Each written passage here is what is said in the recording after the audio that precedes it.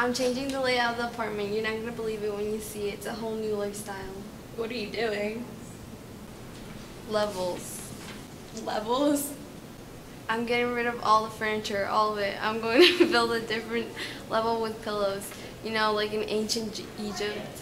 You drew up plans for this? Of course I did. When do you intend to do this? Oh, should be done by the end of the month. You're doing this yourself?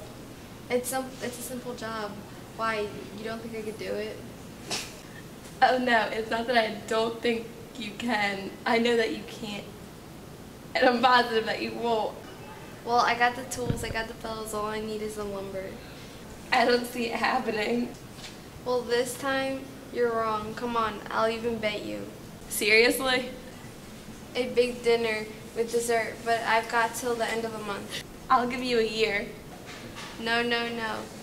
To the end of the month. It's a bet.